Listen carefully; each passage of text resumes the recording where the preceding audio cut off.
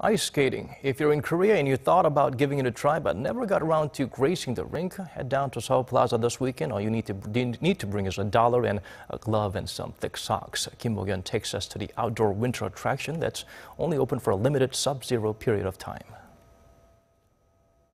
This outdoor ice rink located in front of the Seoul City Hall is popular among locals and tourists alike.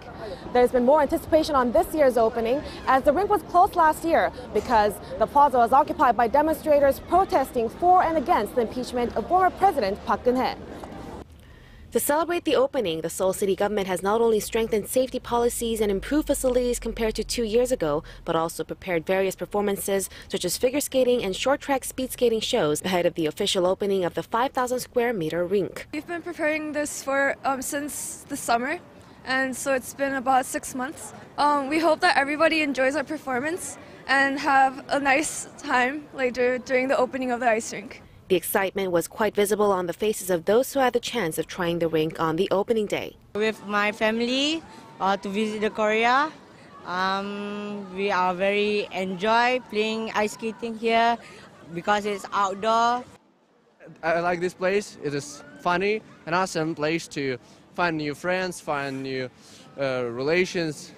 I like it. With the 2018 Pyeongchang Winter Olympics just around the corner, the rink will host various Olympic-related events throughout its operation. From February 1st to the 14th, a special zone will open for visitors to try their hand on curling, while for the special days such as Christmas and New Year's Eve, events related to ice hockey and biathlon will take place. This year, Seoul Plaza Ice Skating Rink opens for 66 days until February 25th, 2018, the last day of the Winter Games. The rink will be open from 10 a.m. to 9.30 p.m. Sunday through Thursday and will stay open until 11 p.m. on Fridays, Saturdays, and public holidays.